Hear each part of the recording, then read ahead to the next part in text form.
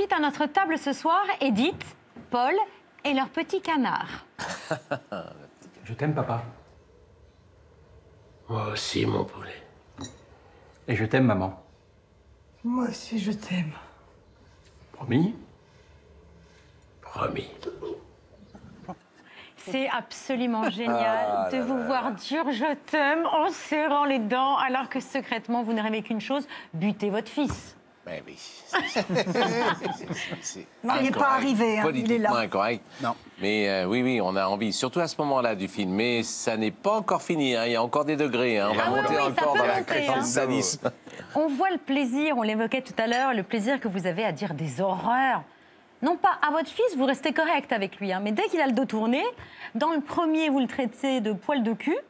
C'est vrai. Et là, on est, voilà, on est passé. euh, Maintenant, je m'attaque à sa fille aussi. Oui, oui. Dans le premier, sur les marches du palais de justice, ça allait loin aussi.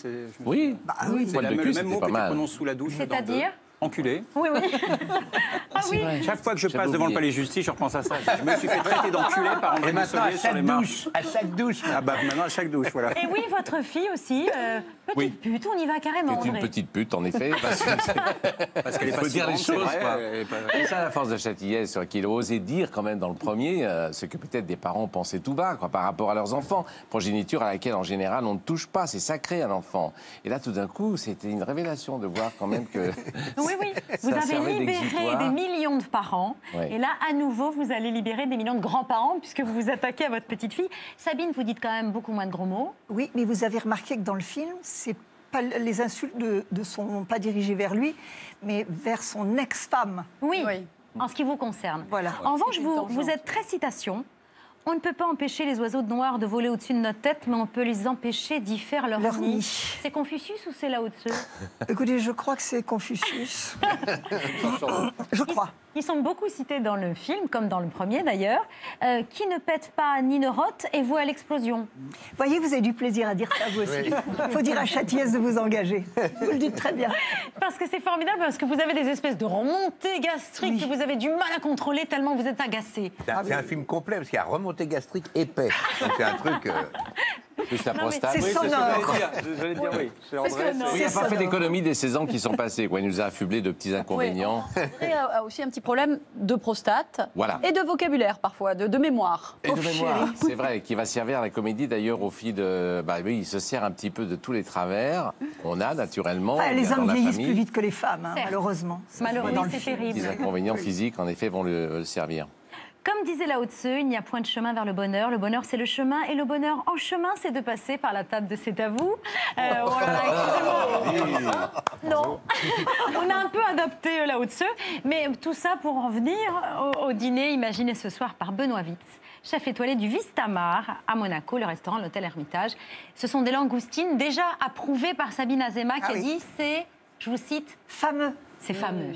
Bah, écoutez, merci. Ce sont juste quelques langoustines à peine saisies, donc on vous a cuisiné ce soir avec un filet d'huile d'olive, du citron drapé de menton et quelques légumes de printemps euh, taillés en fin copeaux et à peine cuits. Voilà. Et hein, en déco, vous avez quelques feuilles de bigonia, de la cistre et euh, oui, il y avait de l'artichaut à l'intérieur, des asperges. Et euh, juste un petit euh, voilà, un poivre euh, du Costa Rica râpé dessus. Voilà. Merci beaucoup, cher Benoît Witz. Tanguy, le retour, traite donc de ce phénomène qu'on appelle la génération boomerang. Et je trouve que ça dit, c'est extrêmement clair. hein. On visualise très bien le boomerang qu'on se- qu'on récupère. Euh, ceux qui finissent par revenir chez leurs parents, c'est ce qui vous arrive, Tanguy. Après une rupture et 16 ans passés en Chine, vous rentrez à la maison où vous vous sentez très bien extrait. C'est vraiment agréable cet appartement. Je crois même que je le préfère à l'ancien. L'autre était quand même exceptionnel, Tanguy. Oui, il était plus grand, c'est vrai. Mais celui-là est plus intime. Mais la vue, tu te souviens de la vue? Justement, on sent plus protégé. Comme dans un cocon. Vous êtes en fait les parents d'un psychopathe. C'est comme ça qu'Étienne Châtillaise définit Tanguy. Vous êtes d'accord? C'est une maladie, c'est un psychopathe. Il est un peu spécial, oui, parce qu'en fait, lui, en 2001, il ne voulait pas sortir du nid, il avait du mal à s'envoler, donc on avait du mal à- aussi à, à- voilà, voilà, à l'éjecter. Et puis là, il revient.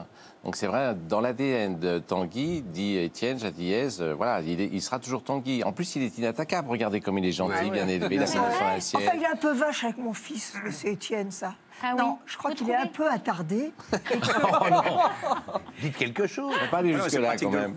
Pas quand pratique même, de à- le laisser croire. À 40 ans, il revient à la maison. Mais non, mais sa femme l'a quitté, il Oui, faut le oui, comprendre. ça enfin, recommence, le non. film recommence. Nous l'avons mal éduqué. C'est de votre Ça serait à refaire, je ferais autrement. Alors, mal éduqué peut-être, mais beau succès. Pierre le disait tout à l'heure, le premier volet de Tanguy a été un succès tel que le prénom est passé dans le langage commun pour devenir une expression. Aujourd'hui, j'imagine que vous savez qu'on dit faire son Tanguy. Ah, tiens. Être un Tanguy, c'est-à-dire retourner, enfin vivre, même pas y retourner encore, vivre chez ses parents jusqu'à point d'âge. Et vous savez que c'est aussi dans les dictionnaires médicaux, je crois, Ah oui comme une maladie. C'est vrai. Enfin, il y a beaucoup moins de parents qui appellent leur fils Tanguy maintenant. hein. Exactement, on a même les chiffres. En 2001, 1800 bébés étaient prénommés Tanguy. L'année dernière, il y en avait, vous savez combien? 6.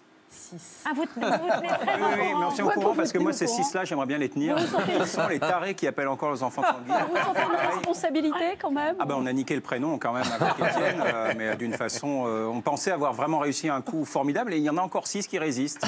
Mais ceux-là, cette année, on va s'occuper d'eux. Je souviens, ça, seront encore ça six. nous avait pris beaucoup de temps pour trouver le prénom. On avait hésité. Ah oui, entre quoi et quoi Quel autre souviens, prénom que vous avez failli niquer comme Bah, dirait Maggie, Eric si ça avait été une fille. Ah, ça a déjà Maggie été fait. Voilà.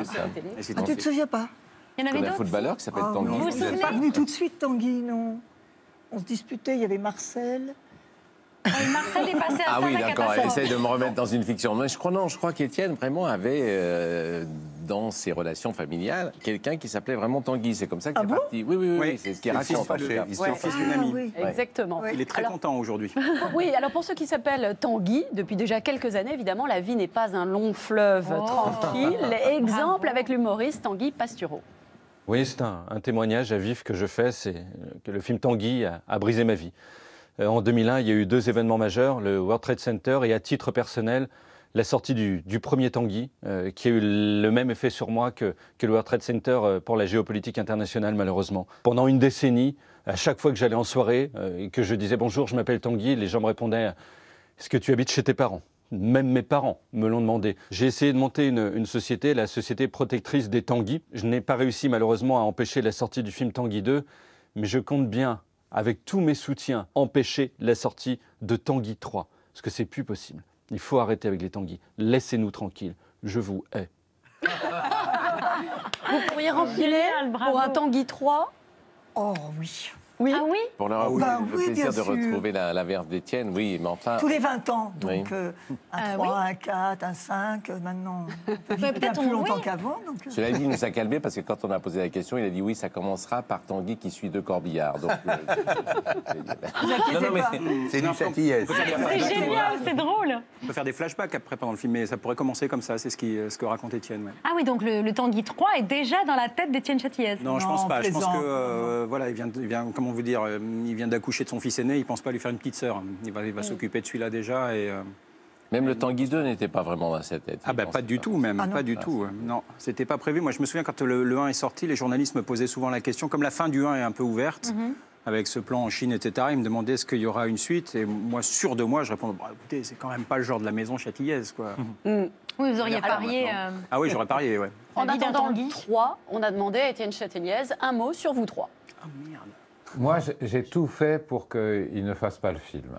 Euh, du Solier, Azéma, Berger, parce que c'est vraiment une plaie de les avoir sur un plateau. Filling up my Christmas list with gifts for girls and boys. There's really things in can. Non, mais c'est un bonheur de retrouver des comédiens qui, qui, qui ont la comédie dans, dans- dans les jambes, dans les os. Sabine Azéma, une femme intelligente, folle et douée, douée, douée, douée, douée, douée. André Dussolier, la première fois où je l'ai rencontré, je lui ai raconté son personnage. Il n'y avait plus besoin de parler après, il l'avait déjà entièrement compris. Eric, une euh, finesse in- incroyable de jeu, et je pense que Tanguy doit beaucoup à l'interprétation d'Eric. Voilà. Qui n'est pas content, là, qui a quelque chose à. Une, Une remarque, une réserve. Forte, oui, forte, douée mais folle. hein. J'ai entendu. Oui, euh, mais comme un compliment, c'est folle comme un compliment. Merci, mon Ça veut dire espiègle, euh, pleine de fantaisie. euh, Ouais. Je pense que c'est ça qu'il a voulu Oui, dire. merci. Comme il manque un peu de vocabulaire, il a dit folle. Ouais. C'est un compliment dans le métier. Inattendu. Et André, euh, le surdoué, on lui parle une fois de son personnage, il n'y a plus besoin de préciser quoi que ce soit Mais non, mais après. la comédie, c'est un régal, hein, franchement. Mm. Donc, euh, écrite par Étienne Châtillon, c'est vrai que comme il ne se prive pas, et qu'il raconte quand même des choses qui nous concernent, de la famille, il y a souvent le thème de la Mm. Famille qui revient dans parle à tout le monde. Et donc, euh, et puis il va, il y va carrément. Donc, Puis on euh, peut se libérer, quoi, nous, sur le plateau, avec toutes ces inventions, quoi. Et il vous offre une nouvelle occasion de vous retrouver tous les deux, Sabine et André, au cinéma. T'es Votre- content? Ravi. Mais j'étais suspendu aux lèvres d'Elisabeth. donc- Oh, ça y est, dès Exactement. qu'il y a une autre femme, c'est fini. Eh oui Dixième film ensemble. Vous avez eu cinq Césars à vous deux, dont deux dans des films où vous étiez partenaires, Mélo et On connaît la chanson. On regarde lorsque André a reçu un César des mains de Sabine Azema et votre émotion à tous les deux est très belle à revoir. Non, je n'ai pas triché. André Dussolier.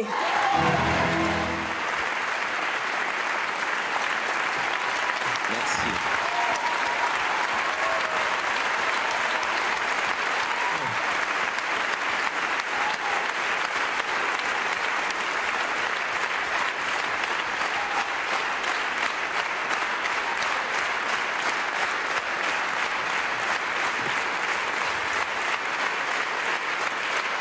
Parce que vous m'encouragez à vous chanter une chanson et ce serait un désastre, vraiment.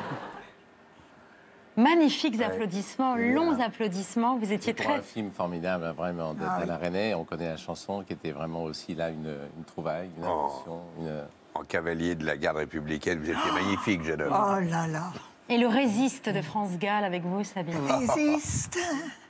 mais oui, J'étais pas contente qu'on me donne cette chanson. Ah bon? Non, c'était pas celle que je préférais. Vous vouliez laquelle? Hmm, je sais plus. C'était Mais- génial cette euh, chanson. Et en fait, c'est celle que les gens Retiennent. Bah ouais. retiennent. Dans la rue, on fait aussi. Quand on ne parle pas de Tanguy, On vous fait résiste. résiste. Si on revient à vos, à vos débuts, et au début de votre vie commune, si j'ose dire, c'est un jour où Sabine vous dit à André, dis petit garçon, est-ce que tu veux bien me faire répéter une pièce pour le conservatoire? Ah oui. Vous lui avez pas Oui. dit tout à fait comme ça, mais ça voulait dire ça. Puis toutes les filles euh, du conservatoire lui demandaient ça. hein. Bon, il m'a dit oui. Et c'est vrai que moi j'habitais donc à Paris et voilà, il est venu chez mes parents. Ah, donc c'était bien rue de Miroménil, alors que vous, André, dans tout, j'ai tout lu sur vous deux, vous dites non, c'était pas là, c'était au théâtre. Oui, Vous ah oui, savez, Alzheimer, on dit dans le film. hein. Ah, euh, on a un metteur en scène, Charles qui n'a aucune imagination, qui a, qui a puisé évidemment dans nos. Dans vos- Mais dans vous nos- vous rendez compte, il est venu chez moi et on, Oh. voilà, comme des bons élèves, là, on a répété ensemble. Ça a commencé comme ça, si on avait su. Et alors, c'était du Musset ou du On Guitry donnerait Parce que là encore, Ouais, vos deux versions, vos deux Ah oui, versions c'est C'est fini, c'est terminé. Eh oui. Musset ou Guitry Alors là, parce que oui, euh, je pense que je suis rentrée avec Musset. Et je suis ressorti avec Guitry. Exact. C'est possible. Donc c'était Guitry. Il y avait d'autres choses possible. encore. hein. Il y avait, euh, je crois qu'il y avait Tchekhov, Ah oui. Vania. C'est génial si, on vous, a- si vous aviez su, si on vous avait Vous vous dit. rendez compte? Maintenant, on se dit, oui, si on avait su. Et vous êtes devenus tout de suite très amis? On est Oh. devenus amis, mais enfin, on, non, on était heureux d'être, de Voilà. travailler ensemble, je pense, toujours, mais c'est grâce à Alain René, évidemment, qu'on pas s'est si proche. retrouvés. hein. Voilà. Pas si proche, on a le Il n'y a pas caractère eu de très. petit plus, il n'y a pas eu, il y a, jamais eu un baiser volé, est un, truc, un croche. Eh ben, je vais vous dire. pas Oui. Roulement de tambour. Vous voyez, ce qui intéresse les gens dans la vie, on sait toujours ce que c'est. hein. Ben oui. Eh bien, si on en est au 10 ou 11e film, c'est justement parce qu'il n'y a jamais rien eu. Parce que ça n'aurait pas été possible de vous donner aussi souvent la réplique s'il y avait eu. euh, Ben, je pense que si on tombe amoureux, et puis après on se quitte très vite peut-être, et donc euh, non, Oui. ça André, peut pas a se faire jour, comme elle m'a ça. plus souvent giflé qu'embrassé. Exact. Et même des, des gifles Oui, mais qui il n'étaient aime pas, ça. qui n'étaient pas prévus au scénario. Ah, Il aime des ça, et il leur demande, et il Non. dit toujours merci Sabine, merci Sabine. Oui, T'en veux une là Ouais, ouais, ouais. Non, non, mais c'est des bonnes C'est vrai, surprises. On aime les surprises. Donc On évidemment, c'est dans le oui. film de René, Cœur. Et je voyais bien qu'ils euh, complétaient tous les deux, Alain et Sabine, et je m'attendais à un truc, mais je ne m'attendais pas à une gifle, en effet, que j'ai reçu à la fin de la scène. Mais c'est parfait, on, on demande que ça, non Oui, Eric je suis d'accord avec toi. Eric, il prend pas une gifle Ah d'ailleurs oui dans Tanguy 2. Alors qu'on a envie de lui en. Mais ça, c'est pour Coller un vous. peu. C'est vous qui avez envie de donner des gifles à Tanguy. C'est vous le public qui avez envie de gifler Tanguy, pas Vous n'avez pas envie de le gifler, vous?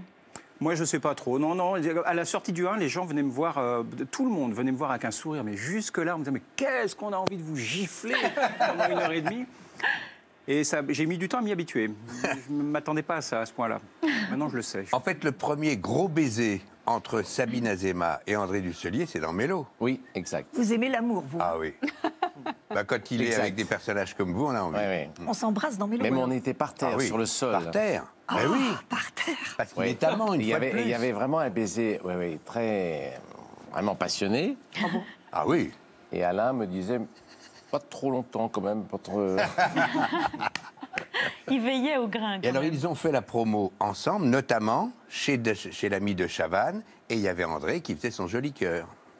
Avec C'est qui du mensonge, la comédie. Donc, euh, le, le mensonge, c'est aussi, je sais pas, dans un rapport de, de séduction, de vouloir plaire aussi aux autres. C'est ça, c'est le. Vous êtes assez séducteur quand même. hein. Oui. Quand Si même. tu dis si, ça, Si, en quand vrai. on vous regarde. Quand on, euh, voilà, voilà. Oui.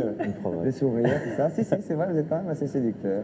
Et non, puisque, puisque j'ai fait de, de cette envie de, de mentir un métier. Oui. Donc, j'ai plus besoin de, de mentir dans la vie. Oui. C'est cela. oui. C'est vrai. C'est cela même. Mais vous voyez, c'est dégoûtant. Oui. Vous le mettez, lui, avec plein de femmes. Hein, et- et moi, non. euh, Bah, Il y a de Chavannes quand même. Ah oui, Oui. j'avais oublié. La mise en scène est assez étonnante d'ailleurs. Vous vous souvenez pourquoi vous étiez allongé sur des matelas? C'est très bizarre. entouré de jeunes femmes Mais euh, en tout cas, euh, on, on finit même par être assez épaté, puisqu'on aimait bien le mot épatant et le mot fameux, de voir combien votre couple fonctionne dans toutes les situations, aussi bien à la télé que bien sûr d'abord dans les films, et singulièrement ceux d'Alain René ou d'Étienne Châtillaise. C'est incroyable. Et dans tous les registres, oui, dans tous les genres. C'est vrai, au- au- aussi bien le genre dramatique que dans la comédie. euh, C'est ce qu'on aime bien faire et qu'on aime euh, jouer avec, euh, avec la confiance que nous a donné aussi René et tous les metteurs en scène qu'on a rencontrés, parce qu'on a tourné aussi avec Duperron Ouais. euh, et d'autres. euh, voilà. c'est vrai, moi, je me dis toujours, c'est étonnant. Pourquoi? Pourquoi ça fonctionne comme ça? Je crois que vous avez dit au cours de- au détour d'une interview, on est un peu jumeaux. Il y a une sorte de gémellité qui. Non? La pas une- sensibilité est semblable. Je Une dis toujours pas osmose le caractère. Ouais. Oui, il y a une sensibilité, de façon d'être l'un avec l'autre, et puis de ressentir ce qui se passe sur un plateau. De... La manière de travailler, oui, Ouais, je pense. la manière oui. de Euh, travailler. Le souci aussi d'aller euh, au plus près de, de la vérité des personnages et puis de le faire avec euh, la plus grande liberté qui soit. Quoi. Voilà, c'est peut-être ça. Et sur un plateau, ça doit être emmerdant, les gens qui s'entendent aussi bien, non? Non, parce qu'il y a de la place pour plein de monde. Ah, bravo, Il y a beaucoup de place. Bravo. J'adore la fierté. Moi, je suis premier degré. J'ai vraiment l'impression que vous êtes les parents de Tanguy. Parce que Sabine, vous regardez vraiment Eric Bah comme, oui. comme votre fils. Bien sûr. On m'a beaucoup, beaucoup. aidé à jouer le premier. C'est vrai? Oui, parce que dès le départ, d'abord dès le départ, ils m'ont pas regardé comme un jeune homme ou un débutant, etc. Ils m'ont regardé comme un acteur. Et, euh, et ils m'ont regardé très vite comme le rôle. Alors euh, ça aide vraiment à jouer parce que tout d'un coup, je le, le rôle, je le voyais dans leur regard. Alors c'était facile après, j'avais plus qu'à dire mon texte et prendre mes places. Vous êtes très impressionnant, entre autres, dans ce deuxième, euh, dans ce retour, parce que vous parlez chinois. Ah oui. Ça, ça vous a demandé un effort particulier Ah ou- oui, particulier, oui, c'est vraiment le mot. oui, ça un effort particulier, c'est exactement ça. Oui, parce que là, il y avait des scènes en plus. des- des- Il y, a- eu une scène complète que en, que en chinois. Euh, ouais, c'est difficile. Vous dites Le- notamment j'ai les pépettes en chinois. Ah oui. Vous pourriez nous le redire là Ah, Parce que j'ai noté, dites donc, il C'est sait dire j'ai les pépettes en chinois. Euh, euh, quelque chose comme ça, mais je ne sais pas si Ah, je mets si, le bon. Il vient de mets- l'inventer, là. Si je mets le bâton. Non, je- Wapu Chedin. Wapu Tsieding. Ah ouais. ouais, ben voilà. Donc si vous voulez entre autres apprendre à parler chinois, il faut aller Entre voir. autres, vraiment entre oui, euh, Tanguy le retour. Mais c'est pour le plaisir surtout Ah de oui. retrouver Sabine Azema, André Dussolier, Éric Berger euh, et cette famille absolument. Comment, comment peut-on la définir? Improbable. improbable famille, voilà, Euh, et ce couple euh, indissociable qui justement ne veut pas d'un élément perturbateur qui va pourtant bien s'incruster. C'est formidable. Ouais. On était ravis de vous avoir tous les trois euh, autour Oh, de la table de C'est à vous. On encourage très vivement le public de C'est à vous à aller voir Tanguy le retour. C'est en salle à partir de mercredi. Et si vous croisez Sabine Azema dans la rue, vous lui parlez de Tanguy puis vous lui faites résiste. voilà. Merci beaucoup et à très bientôt Sabine Azema, à très bientôt Eric et André Dussolier. Vous connaissez par cœur le chemin du studio. Tout de suite, entrée libre Claire Chazal. Demain, on dîne avec Miss Univers, Iris Mittenard. Voilà, et Kamel Wally, exactement. Et si vous voulez bien, vous tournez vers Séverine, derrière vous, pour souhaiter à nos téléspectateurs une excellente soirée sur France 5. Merci à nos invités, merci beaucoup. À demain 19h. Ciao